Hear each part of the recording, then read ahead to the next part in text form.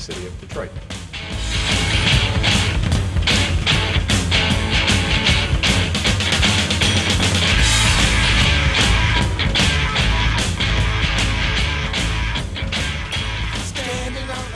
I often say if you want to rebuild a neighborhood, you're a lot better off starting with stuff people eat and drink.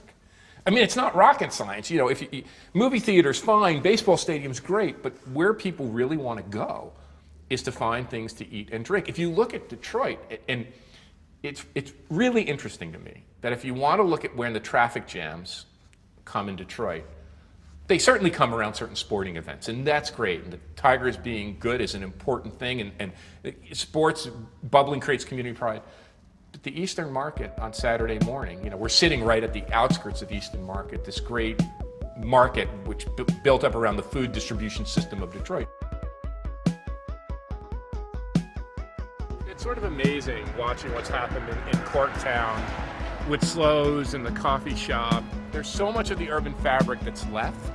And, and really, if you look at the core, so many great buildings are left, and so much of this texture, and, and really, from an urban planning or architecture point of view, all it takes is some patching and stitching to infill the gaps. The great Jane Jacobs said it best new ideas require old buildings.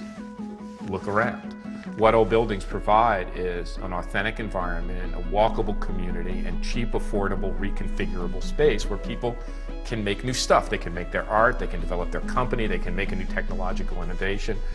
And I think I think the seeds, not only I think Detroit is way past its tipping point. It is coming back. And you can see how that's captivated national interest. It, it's not just and it's important that people from Detroit rebuilt their city, but you can see it attracting creative people, energetic people, entrepreneurial people, like the people who use this space, this building. It's attracting them from all over the country and all over the world because they see the potential in reviving being part of, not reviving, being part of the rebirth, the revival of a great American industrial city.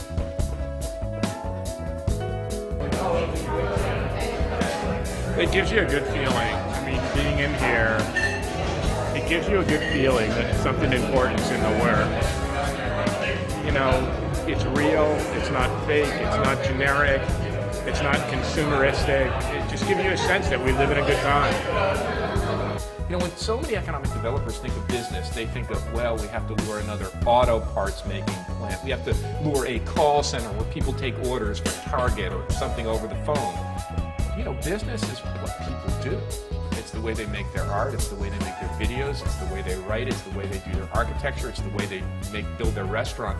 It's very much this small scale organic development. So I think that's what rebuilding Detroit is about. And making it and maybe the single best thing to do is just make space available to help the process of making cheap.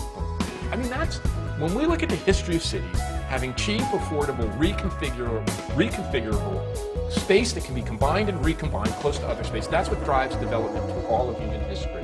This isn't rocket science. So I think those are the things that, that the community can do. And, and I shouldn't say could, it's being done.